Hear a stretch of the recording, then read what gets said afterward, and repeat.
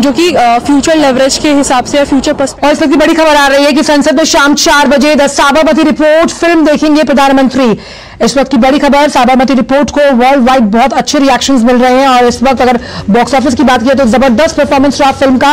और आज शाम चार बजे प्रधानमंत्री खुद द साबरमती फ़िल्म देखने वाले हैं। किस तरह से साबरमती रिपोर्ट ने बॉक्स ऑफ़िस पर भी सफलता के झंडे गाड़े और शाम चार बजे संसद के बाल योगी ऑडिटोरियम में द साबरमती रिपोर्ट प्रधानमंत्री देखेंगे।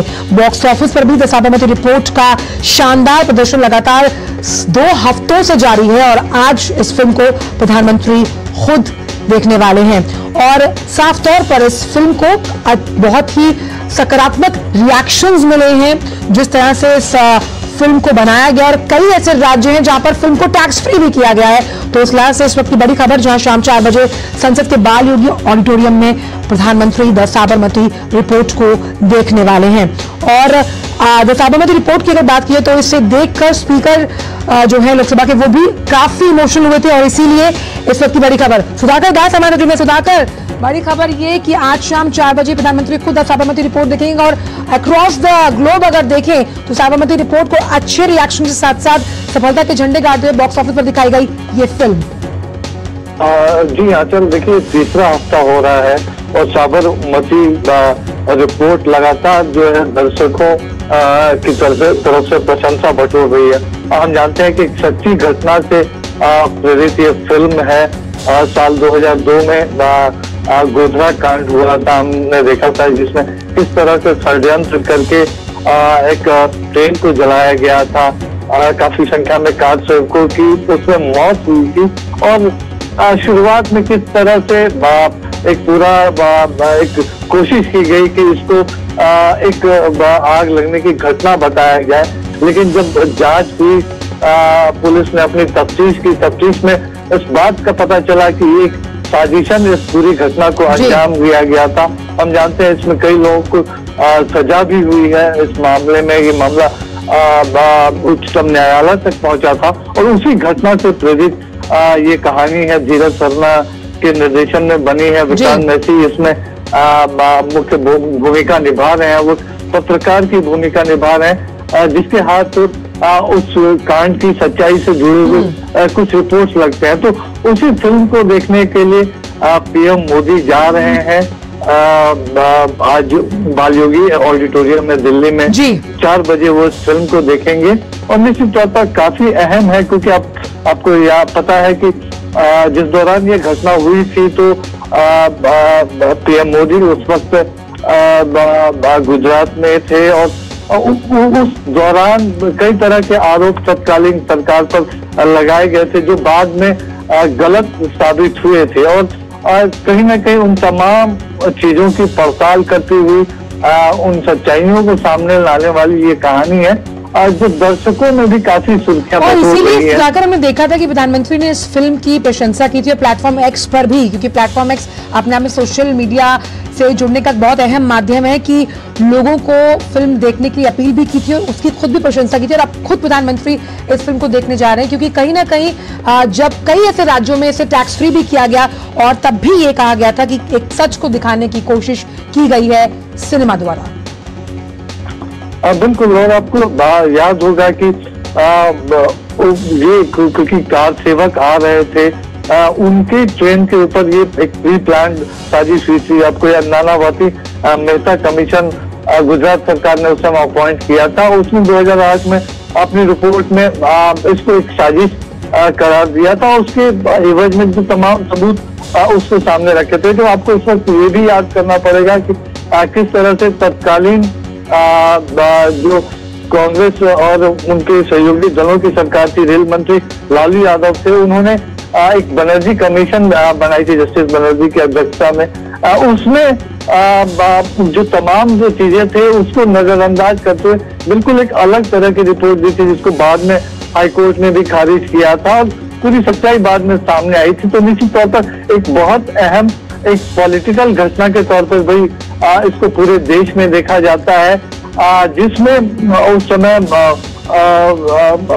गुजरात के सीएम आ, नरेंद्र मोदी उस वक्त और गुजरात सरकार पर तमाम तरह के आरोप लगाए गए थे जो बाद में अदालतों के ज़रिए और जो जाँच हुई उसके ज़रिए जो तमाम आरोप झूठे का साबित हुए और उसके बाद ये पूरी कहानी की बुनियाद बनी है। तो निश्चित तौर पर एक अहम फ़िल्म है और पीएम मोदी खुद देखने जा रहे हैं तो निश्चित तौर पर आप समझ सकते हैं कि पीएम देखने जा रहे हैं तो इस फ़िल्म को बिल्कुल कई ऐसे तथ्य और साक्ष्य हैं जो इस फ़िल्म के ज़रिए लोगों के सामने पेश किए गए।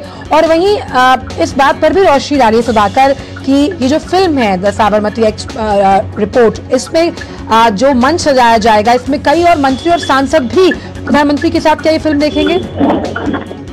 जी बिल्कुल स्पेशल स्क्रीनिंग हो रही है। इस फ़िल्म की बालयोगी ऑडिटोरियम में। और उम्मीद ज़रूर की जा रही कि पीएम मोदी के साथ कई केंद्रीय मंत्री विभिन्न दलों के सांसद, बीजेपी के सांसद तो रहेंगे विभिन्न अन्य दलों के सांसद, एनडीए के सांसद भी इस फ़िल्म को देखेंगे। तो एक अहम फ़िल्म एक महत्वपूर्ण राजनीतिक घटना देश की उस राजनीतिक घटना की पोल किस तरह से खुली किस तरह से उसकी जाँच आगे बढ़ी और एक पत्रकार के किरदार के ज़रिए उस पूरी घटना क्रम को लाने की कोशिश आ, आ, इस फ़िल्म में की गई है। तो आज चार बजे ज़रूर इंतज़ार रहेगा बालूगी ऑडिटोरियम में। और निश्चित तौर पर फ़िल्म के जो निर्देशक हैं निर्माता हैं और एक्टर हैं वो ज़रूर खुश होंगे कि पीएम मोदी खुद आज उनकी फ़िल्म को देखने जा रहे हैं। और ऐसा कम ही होता है कि पीएम इस तरह से आ, किसी फ़िल्म को देखने जाए निश्चित तौर पर आ, वो ज़रूर कलाकारों हैं की तारीफ़ तो पहले भी वो कर चुकी हैं और कई अगर हम देखें राज्यों के मुख्यमंत्रियों से भी उन कलाकारों की मुलाकात हुई है और जिस लिहाज से उनके काम की तारीफ़ हुई जिस परिपक्वता के साथ उन्होंने अपने अपने किरदार निभाए। लेकिन एक अहम बात जो यहाँ पर सामने निकल कर आ रही है वो ये है सुधाकर कि किस तरह से इस पूरी कहानी को या इस पूरी कहानी का ताना बाना जिस तरह से पिरोया गया है वो कहीं ना कहीं लोगों को छूती है। और यही बात प्रधानमंत्री ने भी जब प्लेटफॉर्म एक्स पर लोगों से अपील की थी कहीं ना कहीं इसको साझा करती है।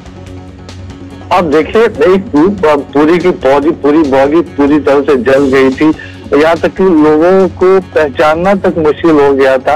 आ, किस पीड़ा से गुजरे होंगे वो तमाम परिवार जिन्होंने अपने परिजनों को इस घटना के चलते इस साजिश के चलते जो ये प्री प्लान एक आग लगाई गई थी साबरमती एक्सप्रेस में तो वो उन तमाम परिजनों को खोया होगा।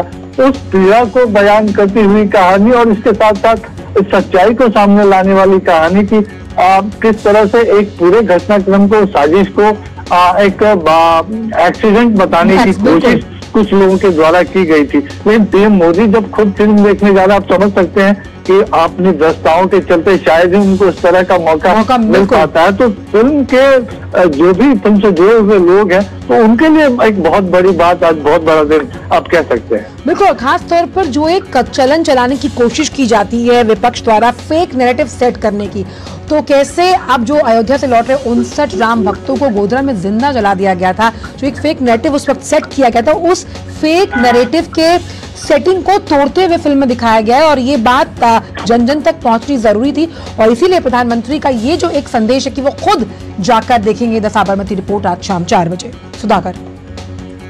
बिल्कुल और आचल मुझे याद है आ, उस वक्त हमारे जर्नलिज्म की पत्रकारिता करियर की शुरुआत ही हुई थी और मुझे याद है तमाम आ, उस समय सत्ता पक्ष के जो नेता थे कांग्रेस के नेतृत्व में जो सरकार चल रही थी आ, उन तमाम नेताओं के बयान आ, उन्होंने शुरू से ही इस बात को खारिज करना शुरू कर दिया था कि ये कोई प्री प्लान घटना है। आ, कम से कम जाँच होने का इंतज़ार किया जाता। आ, वो तमाम चीज़ें सामने तथ्य सामने आते उसके बाद उनके बयान आते तो शायद अच्छा होता लेकिन ये कोशिश शुरू से हो रही थी कि जाँच से पहले ही आ, जो साजिश का एंगल है उसको खारिज कर दिया जाए। लेकिन इन तमाम, और जो इसमें पूरी एक न्यायिक प्रक्रिया होती है, जिस राज्य में घटना हुई है उसको एक न्यायिक आयोग गठन करने का अधिकार इसमें रेलवे ने अपनी तरफ़ से एक न्यायिक आयोग का गठन किया था जिसकी रिपोर्ट भी बाद में न्यायालयों में उस रिपोर्ट को अहमियत नहीं दी गई। बाद में जो जस्टिस नानावती मेहता कमीशन की रिपोर्ट थी उस रिपोर्ट ने जब पूरे घटनाक्रम से हस्तक्षेप किया साजिश का खुलासा किया और जब बाद में न्यायालय ने अदालत में साजिश से जुड़े हुए तमाम लोगों को सजा दी तो तब जाके ना सिर्फ़ पीड़ितों को न्याय मिला और एक तरह से उस समय की जो पॉलिटिकल लीडरशिप थी गुजरात की उन्होंने जो एक बात कही थी कि जाँच के बाद तमाम चीज़ों को सामने लाया जाए वो बातें, तमाम बातें सही साबित हुई। तो निश्चित तौर पर एक बेहद संवेदनशील मामला अब पीड़ितों के नज़रिए से देखे तो और भारत के पॉलिटिकल कहीं ना कहीं जिस तरह से अगर इस तरह की जो फ़िल्म बनाई जाती है जो तथ्यों को उजागर करती है बेडर बेखौफ बेटोक और प्रधानमंत्री अगर उसे खुद देखने जा रहे हैं तो ये कहीं ना कहीं क्रिएटिव फर्टिनिटी के लिए भी बहुत अहम माना जाता है। तो बहुत बहुत शुक्रिया सुधाकर। इन तमाम जानकारियों को हमसे साझा करने के लिए प्रधानमंत्री आज साबरमती रिपोर्ट। चार बजे बालयोगी ऑडिटोरियम में देखने जाएँगे। पहले भी प्रधानमंत्री इसकी तारीफ़ कर चुके हैं, इनके कलाकारों की तारीफ़ कर चुके हैं। वक्त छोटे से ब्रेक का आप देखते रहिए जी न्यूज़।